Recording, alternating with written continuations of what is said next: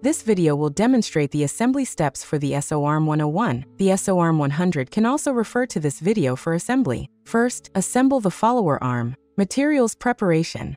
3D printed parts for the follower arm. Servo accessory kit matching the follower arm. First, take out the base and servo number 1. Plug the connecting wires into the two ports of servo number 1. Then insert the servo number 1 into the cavity in the middle of the base and fix the servo with pointed screws.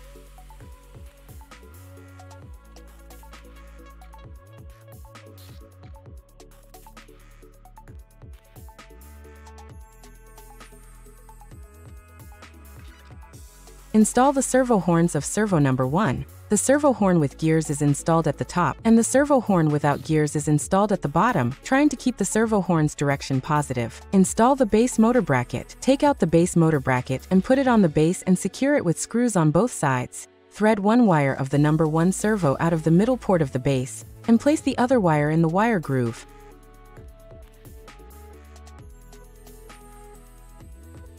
Install the shoulder.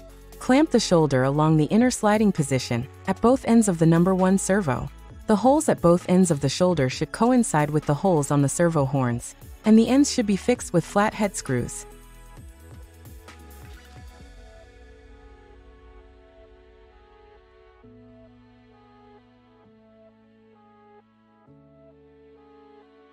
Install the shoulder motor bracket. Load into servo number 2 with screws on both ends.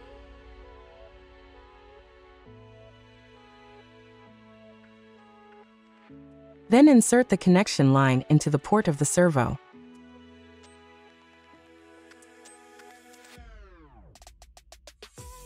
Install the servo horns of servo number 2, trying to keep the servo horn's direction as positive as possible.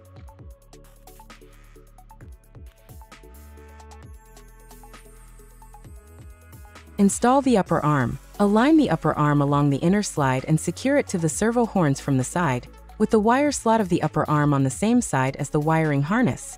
The holes at both ends of the upper arm should align with the holes on the servo horns, and both ends are fixed with screws.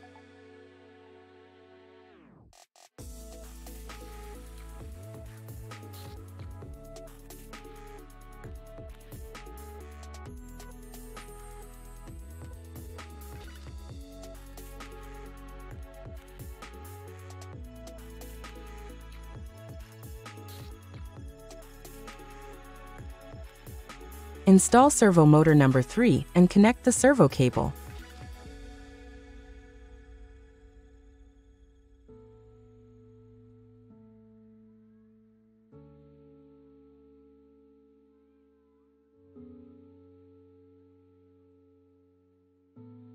Install the servo horns on both ends. Secure the servo with screws.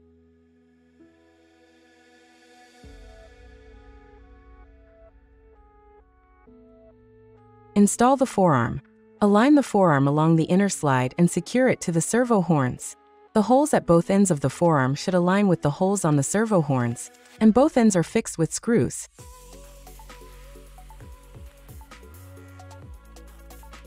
Install elbow motor bracket.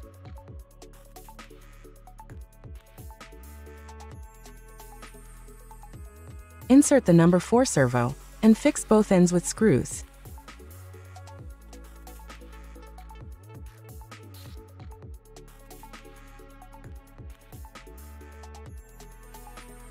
Connect the servo cable.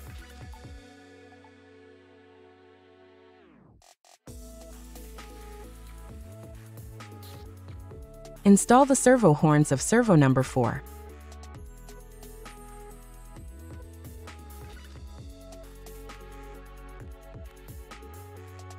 Install the wrist bracket. Then slide it along the track and secure it onto the servo horns, and fix both ends with screws.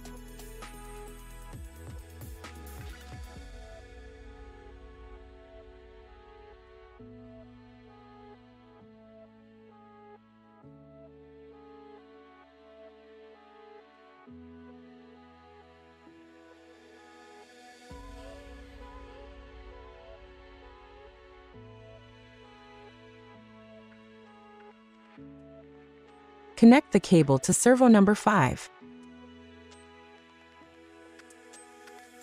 Thread the connecting cable of servo number 4 through the wrist bracket and attach it to servo number 5. Adjust the cable's position to avoid damage when inserting it into the servo. Install servo number 5. Insert the gear side first, with gears facing upward.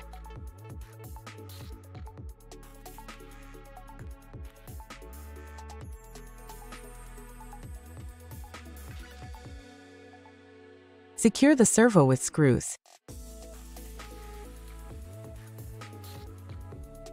Install the servo horn with gears. Do not install the one on the other side of the servo. Install the follower wrist and secure it with 5 screws.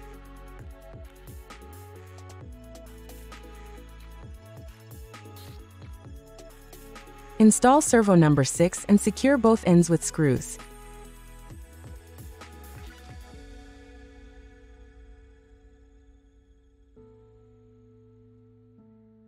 Attach the servo horns.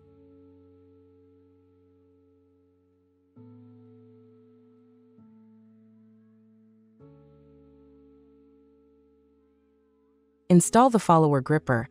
Slide it into the servo horn along the slot, then secure both ends with screws.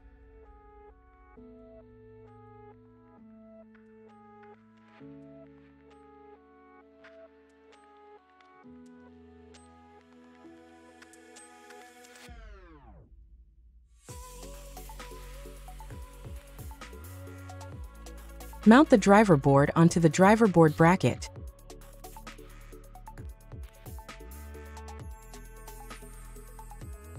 Clip it onto the base motor bracket via the square component on the back.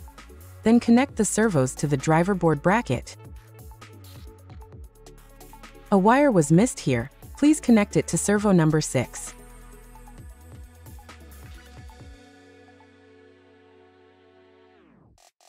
Now the assembly of the follower arm is complete. This is the assembly tutorial for the leader arm. Materials preparation, 3D printed parts for the leader arm, servo accessory kit matching the leader arm. The assembly steps from the base to the wrist bracket are the same as those for the follower arm, differences start from the wrist component. Attach the leader wrist to the servo horn of servo 5 with screws.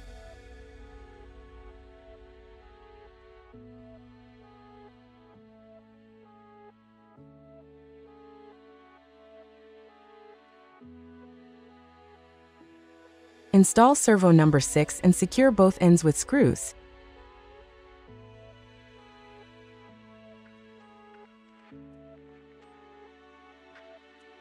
Attach the servo horn.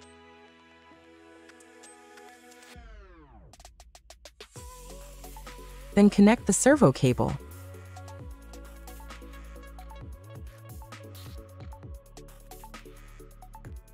Install the leader trigger and secure it with screws.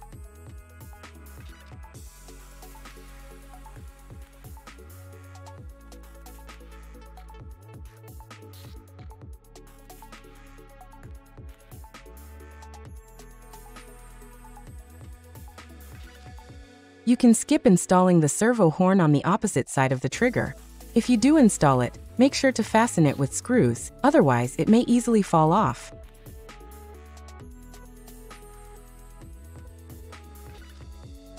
Install the leader joystick. Mount the driver board onto the driver board bracket.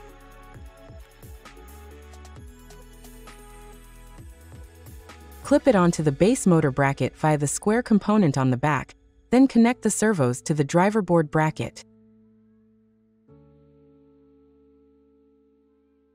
Now the assembly of the leader arm is complete.